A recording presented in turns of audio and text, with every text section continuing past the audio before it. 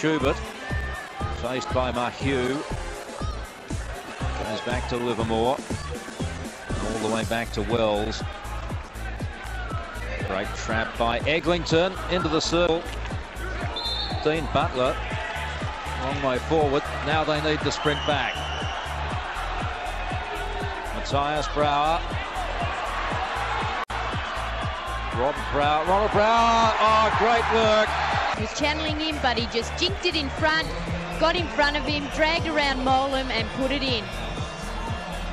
The 29th minute. Just what Australia did not want. And the Dutch take a 1-0 lead in the gold medal game.